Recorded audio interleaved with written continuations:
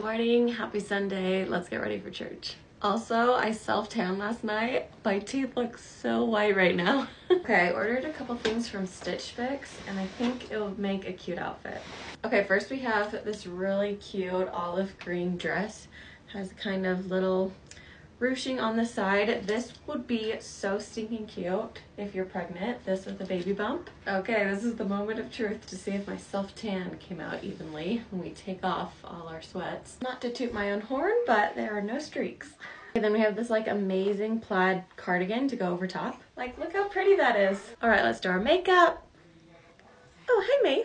Do you want to help me finish getting ready? I need some boots. I think we're gonna go with these cream ones. What do you think? You like them? To be honest, I don't have time to do my hair, so natural waves it is. We're just gonna do some of this hair oil on the ends. Oh my gosh, it smells so good. All right, here's the finished look. I think it's so perfect and cute for the fall. Happy Sunday.